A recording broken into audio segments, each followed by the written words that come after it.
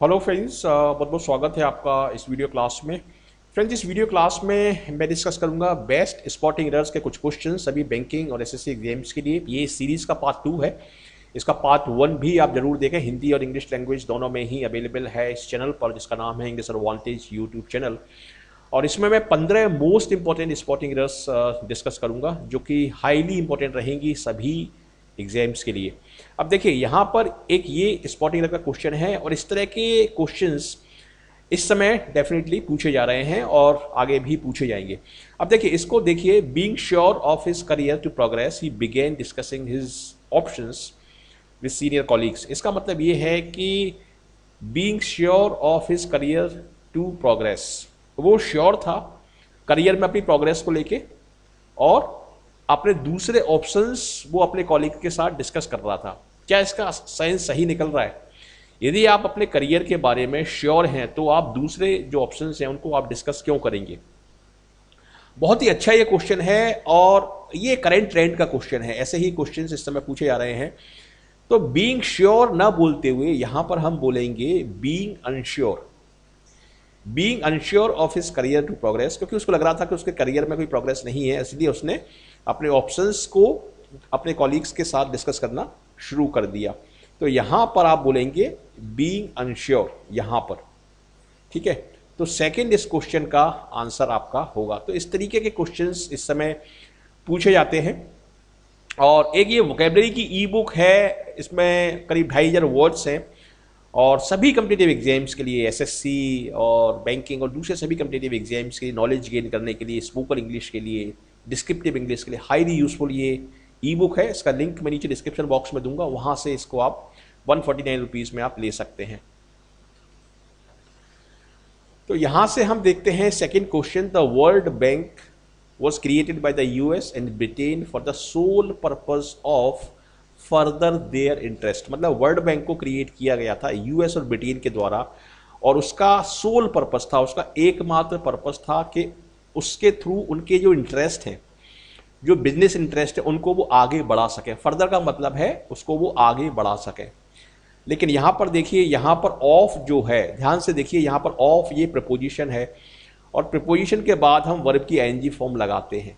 तो यहाँ पर ये जो है, इसमें हम आईएनजी फॉर्म लगाएँगे वर्ब वर्ब चूँकि ये वर्ब की तरह काम कर रहा है फर्दर जो वर्ड है, इसलिए इसको हम बोलेंगे फर्दरिंग ठीक है? फर्दरिंग इसको हम बोलेंगे यहाँ पर। तो यहाँ पर आपका सही आंसर होगा थर्ड देखिए, कितना अच्छा क्वेश्चन है ये। और टिपिकल एसएससी या बैंकिंग का ये क्वेश्चन है।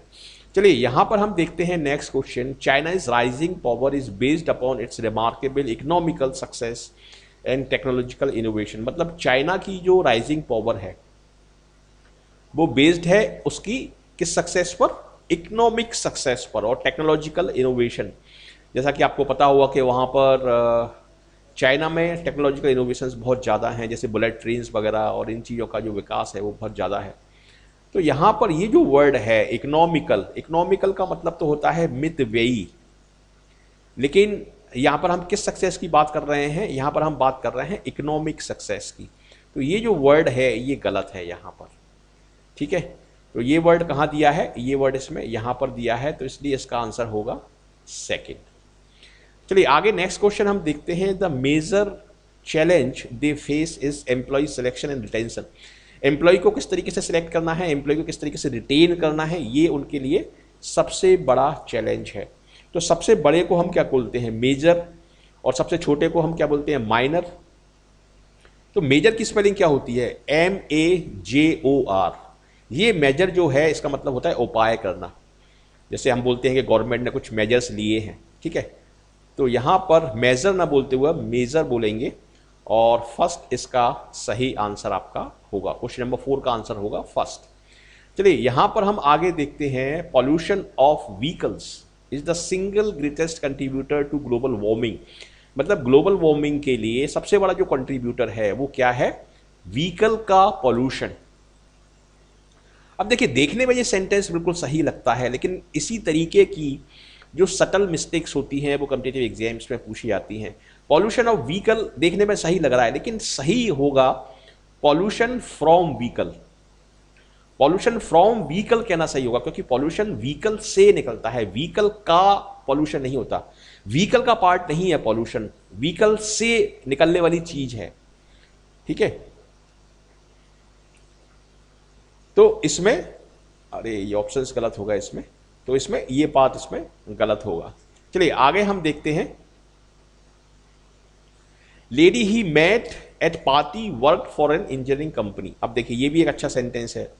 यहाँ पर हम क्या बोल रहे हैं कि जिस लेडी से वो पार्टी में मिला था, वो इंजीनियरिंग कंपनी के लिए काम करती थी। तो क्या ये लेडी जो है, देखिए, इस, ये पूरा सेंटेंस है लेडी दैट ही मैट। यहाँ पर दैट छुपा हुआ है। रिलेटिव प्रोनाउन दैट यहाँ पर छुपा हुआ है। ठीक है? तो ये लेडी कोई ऐसी लेडी नहीं हुई, या पर्टिकुलर लेडी हुई, इसको हम पर्टिकुलराइज कर रहे हैं। क्योंकि उस लेडी की बात कर रहे हैं यहाँ पर, जिससे वो पार्टी में मिला था। तो इसलिए यहाँ पर लेडी ना बोलते हुए हम बोलेंगे द लेडी तो थर्ड इसमें आपका सही आंसर होगा। क्वेश्चन नंबर सेवन देखते हैं। The girl's father forbade his daughter not to get close to him देखिए फॉरबेड ये एक काफ़ी अच्छा वर्ड है। ये सेकेंड फॉर्म है फॉरबिड की, जिसका मतलब होता है प्रोहिबिट करना, मना करना। और फॉरबिड का मतलब होता है नॉट अलाउ यानी फॉरबिड वाले सेंटेंस में हम नॉट का प्रयोग नहीं करेंगे, ये सुपरफ्लुअस माना जाएगा। तो ये सेंटेंस होगा the girl's father forbade his daughter to get close to him not हम यहाँ पर नहीं लगाएँगे। ठीक है? तो इसमें आंसर होगा आपका फ़र्स्ट। फ़र्स्ट इसमें आपका आंसर होगा, नॉट नहीं आएगा।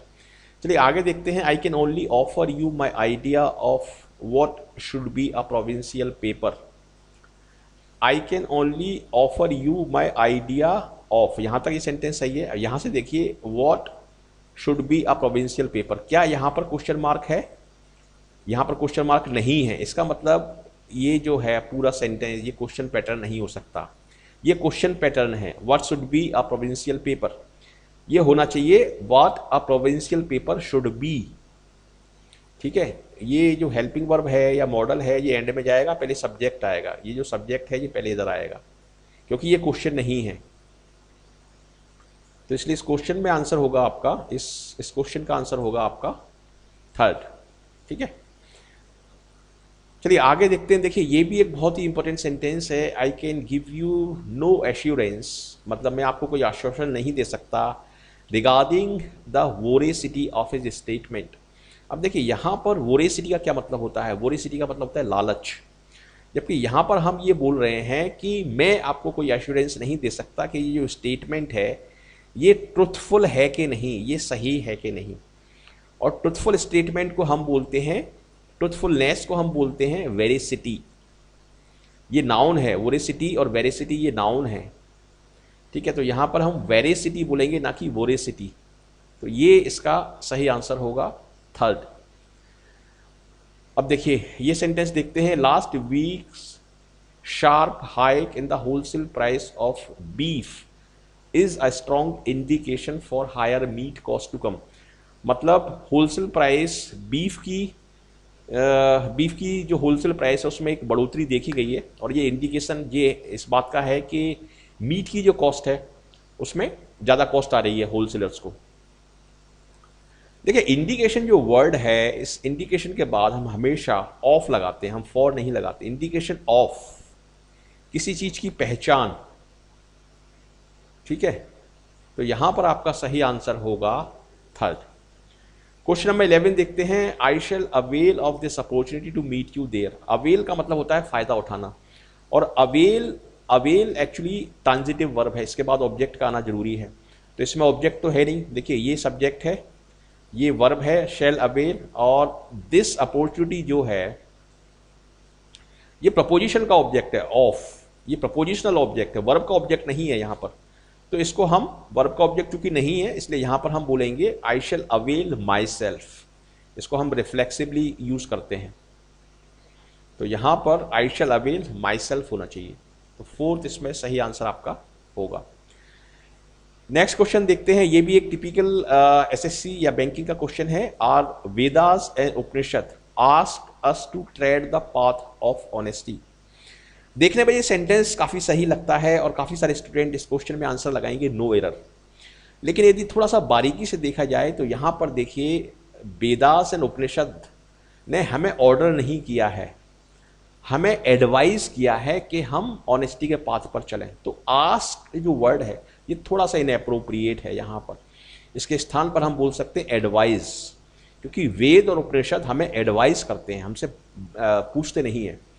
ठीक है तो यहाँ पर आपका सही आंसर होगा फोर्थ।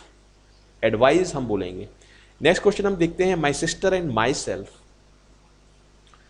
देखिए, इसमें दो प्रोनाउन है। माई सिस्टर जो है, ये थर्ड पर्सन है। माई सेल्फ जो है, ये फ़र्स्ट पर्सन है।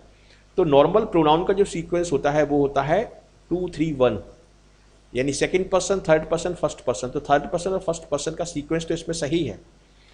लेकिन यहाँ पर चूँकि ये जो प्रोनाउंस हैं, ये सब्जेक्ट हैं तो इनका सब्जेक्टिव केस में होना ज़रूरी है। तो ये तो सब्जेक्टिव केस में है, लेकिन ये सब्जेक्टिव केस में नहीं है।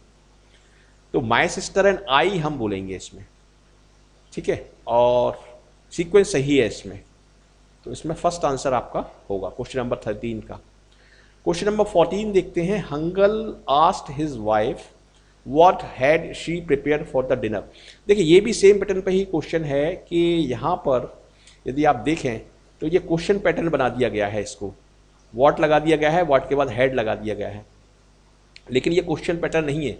अगर क्वेश्चन पैटर्न होता तो यहाँ पर क्वेश्चन मार्क होता इस इस सेंटेंस के एंड में। तो यहाँ पर हम बोलेंगे what she had what had she के स्थान पर बोलेंगे वॉट शी हैड यानी थर्ड इसमें आपका सही आंसर होगा, ठीक है? क्वेश्चन नंबर 15 देखते हैं world is producing enough for every citizen but still there is hunger and malnutrition and it is ये भी काफ़ी अच्छा क्वेश्चन है।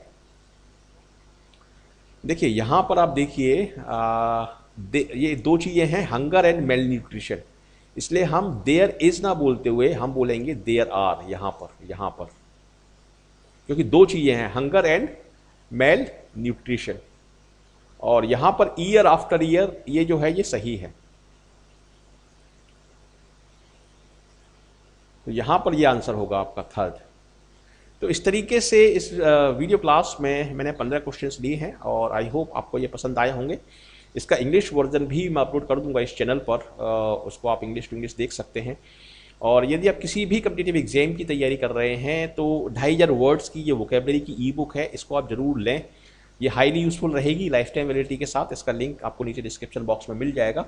कोई भी डाउट या क्वेरी है तो इन नंबर्स पर आप मुझे बता सकते हैं। और इस वीडियो के एंड में नीचे आप कमेंट करके ज़रूर बताइए कि कैसा लगा आपको ये वीडियो क्लास तो इस वीडियो में इतना ही। अब मैं आपसे मिलूँगा नेक्स्ट वीडियो क्लास में। Thank you